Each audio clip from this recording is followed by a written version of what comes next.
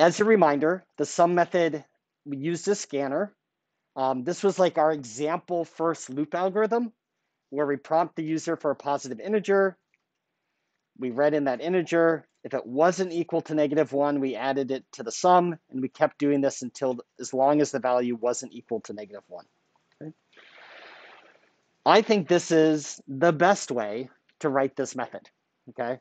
Um, that said, um, there are other ways we could do this, one of which uses this new keyword break, okay?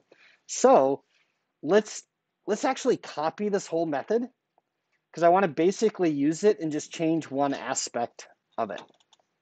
So I'm going to copy the whole method and I'm going to name it sum with break. So it has a different name. I'm going to get rid of some of the comments just to make it a little bit more concise since they're up above anyway.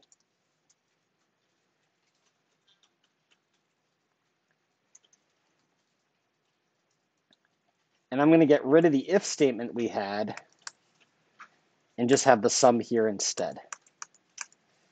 All right, because I want to show a different approach we could we could take.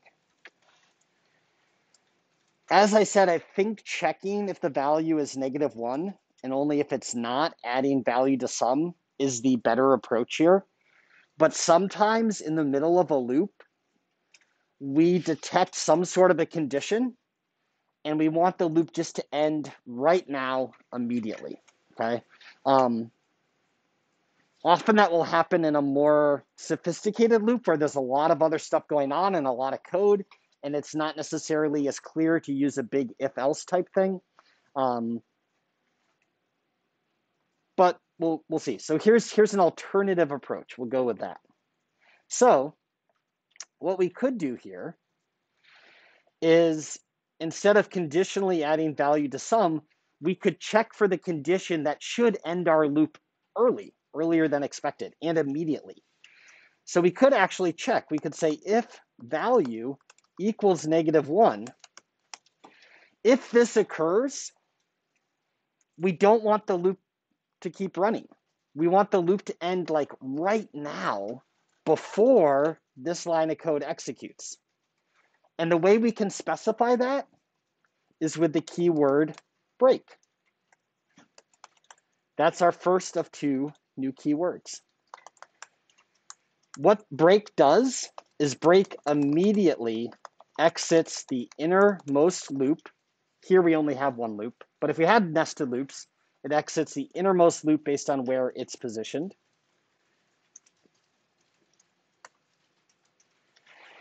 So if value was to equal negative one, this break statement would be executed and the Java runtime, the next line of code the Java runtime executes would be return sum. It skips over everything else inside of the loop, doesn't check the condition, doesn't run that code, immediately goes to the next line of code following the loop. Okay? That's what makes it powerful. It allows us to change the flow of execution within a loop. That's also what makes it potentially confusing. Loops are confusing enough in terms of their flow of execution. Now, with this break statement, there are two ways that we can end a loop. One way is the normal loop condition, like we're accustomed to, but now we have a second way that makes the loop end right away. That can be confusing to people reading your code, or it can be confusing to you when you write the code. So, my advice is use break judiciously. Only use it if you think it makes the code easier to read and understand. Probably some sort of an if statement is going to be a better approach but I want you to be aware of this keyword.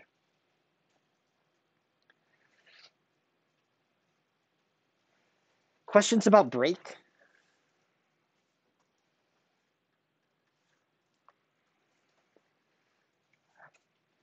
All right. Let's look at a different thing that we might want to do. So I'm going to go back here to sum again. I'm going to copy sum.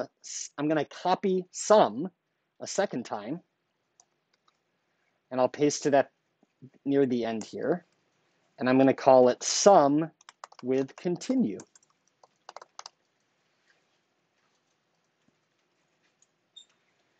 I think this is a little bit more reasonable of an example. Um, so again, I'm going to get rid of some of these comments just to make it a little bit more concise. All right, so here's the sum method working correctly. The way our program is written right now, it's not very forgiving to the user. We ask the user to enter a positive integer, but let's say they get confused and they type koala instead, okay? Um, if we were to call the next int method on the scanner, and what the user typed was a word instead of an integer, we would get an exception and our program would crash. Okay, so that's not very user friendly.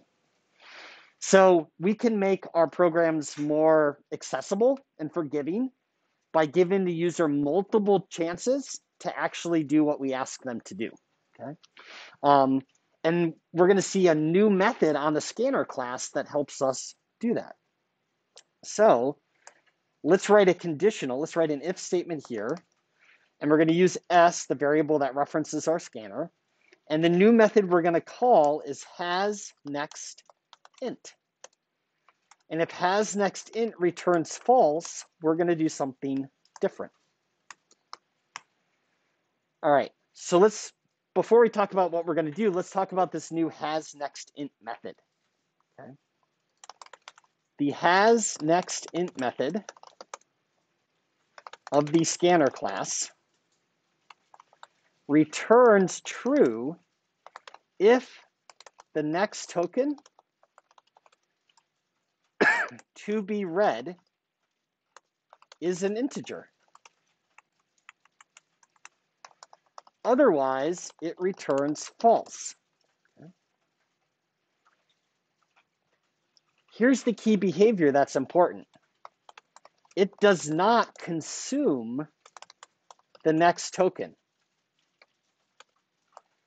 And if there are no tokens in the stream, in the stream, it waits until there are.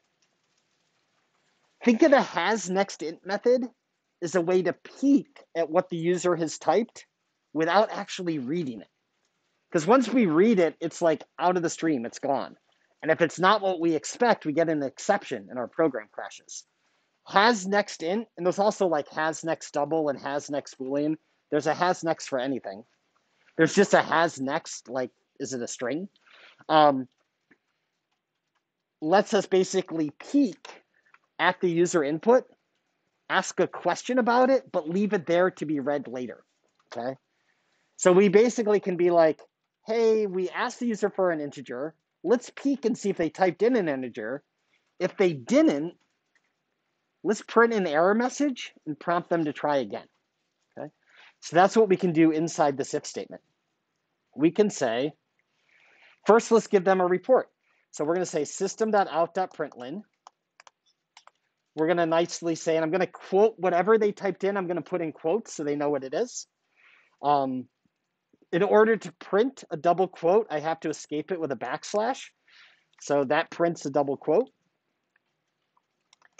And then I'll concatenate s.next, which will read in whatever they typed. And then I'll have another quote for their string, and I'll say it is not an integer. Try again. There's a nice message. Now, what we could do is we could put all of this code that I'm highlighting inside an else that goes with this if. So this will only run if this condition, rather if has next int was, was true. And that would be okay, and it would be reasonable. But sometimes if like your error handling and then you have an else you like this code ends up indented like so far in it can be confusing to see where it actually sits. So sometimes when we're writing error handling code like this it's nice to use a keyword that basically says we're going to skip the rest of this iteration skip all this code check the condition and if it's true like just go back up to the top. And the keyword that lets us do that is called continue So continue does two things. One, it immediately skips to the end of the innermost loop. And two, once it gets there, it reevaluates the loop condition and continues with the next iteration if the condition is true.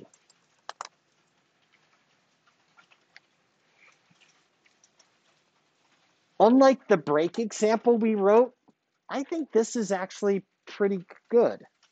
Um, I think this is a reasonable use of the word continue. Again, we didn't have to use it. We could have just done an if else, but this is this is okay. So to be clear, let's say the user typed in koala. We would print this error message. The next line of code would be continue. The Java runtime would immediately jump to here, skips all of this code, jumps to here, checks if value is not equal to negative one, and then it goes back up here and prompts them to go again. One thing is, oops, what, did I not rename this? Did I copy it twice? I did. Oops, sorry. Let me fix up my code here really quick. If you compile what we just typed, you get an error that says the variable value might not have been initialized. The reason for that is we declared the variable value here, but we never assigned it a value. And now that we have this if statement with this continue, this line of code might never run. And so value, when we get to here, might not have a value, which isn't allowed. So we now need to actually set value equal to zero. So at least our code will compile with it being initialized. So again, continue can be helpful when used judiciously. I think it leads to more readable code. It's never needed. You can always do an if else. Um, and it can lead to confusion because we further complicated the flow of execution in a loop. Now there's a statement that basically skips the rest of the loop and jumps to reevaluate the condition again. Okay, that can be confusing. But I want you to be aware of both break and continue.